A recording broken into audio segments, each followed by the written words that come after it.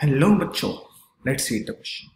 A uniformly charged conducting sphere of 4.4 meter diameter has a surface charge density of 60 microcoulomb per meter square. The charge on the sphere is charge हमें निकालना है चार option दिए हैं first 7.3 into 10 power minus 3 coulomb second 3.7 into 10 power minus 6 coulomb third 7.3 into 10 power minus 6 coulomb and fourth 3.7 into 10 power minus 3 coulomb तो इसमें हमें surface charge density का फॉर्मूला लगा के चार्ज निकालना है। की कंसेप्ट सरफेस चार्ज डेंसिटी का फॉर्मूला हमें पता है तीन तरीके के चार्ज डेंसिटीज होते हैं लीनियर वॉल्यूम एंड सरफेस तो surface charge density is sigma surface charge density इसका फॉर्मूला होता है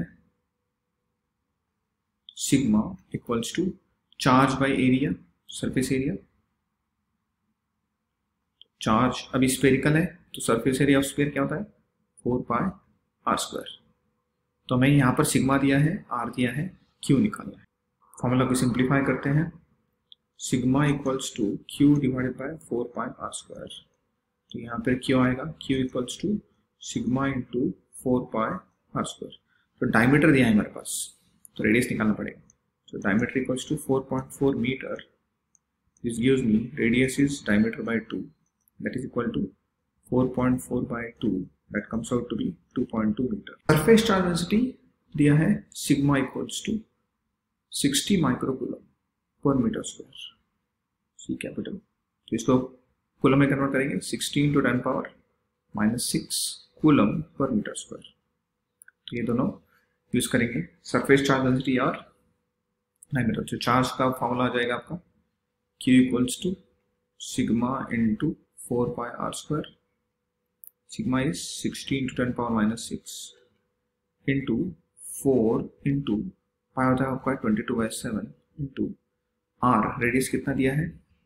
रेडियस इज़ 4.4 डायमीटर है होता उसका हाफ़ करेंगे हमने, निकाला है already 2.2 so 2.2 bracket square simplify करते हैं इसको। So 60 into four into twenty two by seven into 2.2 into 2.2 into 10 power minus 6 simplify करेंगे आगे 60 into 4 into 22 divided by 7 into 2.2 को हम लिखते हैं 22 into 22 into 10 power minus 2 10 power minus 6 तो हो जाएगा 60 into 4 240 into 22 into 22 into 22 so basically 22 का क्यूब कितना हो जाएगा वो 10,648 divided by 7 into 10 power minus 8 minus 2 minus 6 हो जाएगा माइनस एट इसको आप मल्टीप्लाई करके डिवाइड करेंगे तो आपका आंसर आ जाता है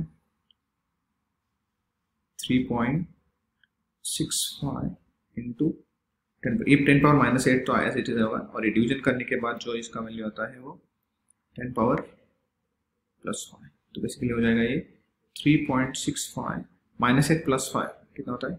माइनस थ्री इसका यूनिट है कूलम तो अप्रोक्सीमेटली हो जाएगा ये 3.7 into ten power minus three coulomb ये आंसर आ जाएगा. Which is matching with option D hope you understood it well all the best